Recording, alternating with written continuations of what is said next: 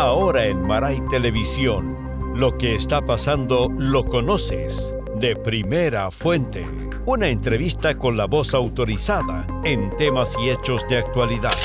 Debido a la detección de la variante Delta en nuestro país, hemos determinado robustecer e incrementar todas las medidas de ingreso a nuestro país y asimismo la fiscalización de los viajeros.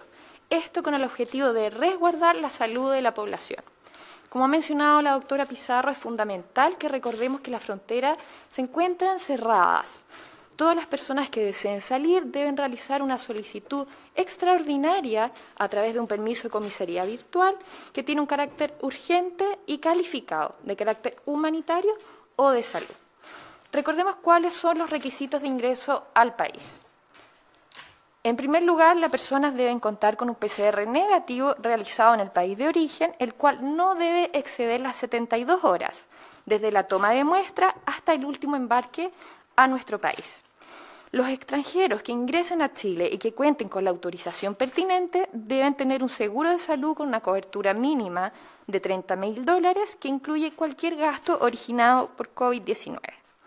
Por otro lado, y muy importante, todos los viajeros en el aeropuerto son sometidos en el momento de su ingreso a un examen de detección directa para SARS-CoV-2, que puede ser un PCR o antígeno. Estas muestras, en caso de ser positivas, son inmediatamente enviadas al ISP para la secuenciación genómica y así la detección oportuna de una posible nueva variante. De todas maneras, estas personas son trasladadas inmediatamente a una residencia sanitaria junto con sus contactos estrechos. Todos los viajeros al ingresar a Chile deben realizar un estricto aislamiento junto con sus cohabitantes. Cuando se ingresa a nuestro país deben estar cinco días en un hotel de tránsito y posteriormente los cinco días restantes en su domicilio. Este aislamiento, esta cuarentena, incluye también a los cohabitantes del hogar donde van a realizar este aislamiento. Aquellos viajeros que ingresen con menores de edad, a su llegada deben realizar el aislamiento en el domicilio que ellos señalen ellos deben considerar que las personas que están habitando en ese domicilio también deben hacer esta cuarentena. Y para el traslado a su lugar de aislamiento deben hacerlo en transporte privado. Durante el aislamiento nosotros decimos que es muy estricto, porque hay restricciones y son las mismas restricciones que tienen las personas que son COVID positivo o contacto estrecho. Por lo tanto, no pueden abandonar el hotel de tránsito y tampoco el domicilio. Por supuesto que no pueden recibir ninguna visita. No se puede utilizar la franja de horario para hacer deporte, que es la franja Elige Vivir Sano. Tampoco pueden salir a trabajar, estudiar y tampoco reunirse con otras personas.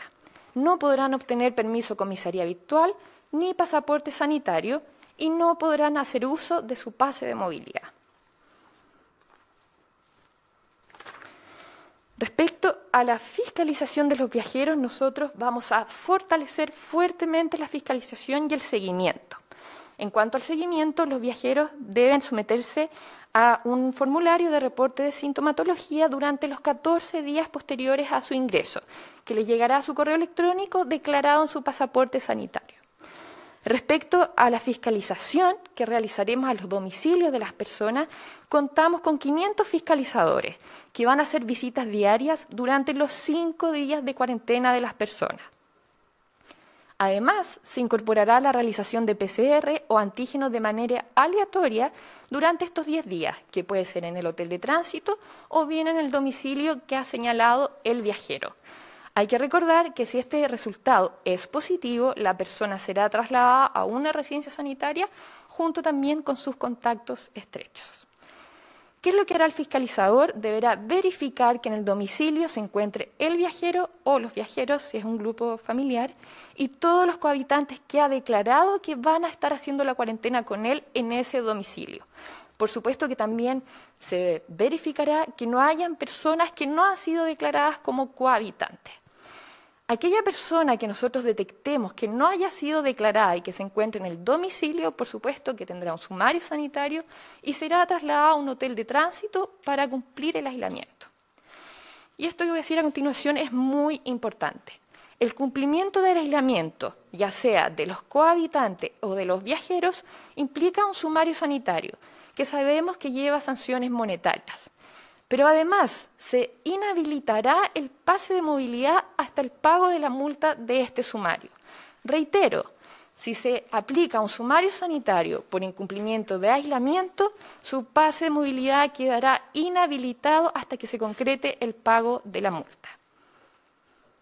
Queremos hacer el llamado a la responsabilidad de todas las personas, de todos los viajeros que ingresen a Chile, a cumplir las medidas dispuestas. Es labor de todos nosotros colaborar para detener la propagación de esta nueva cepa en nuestro país.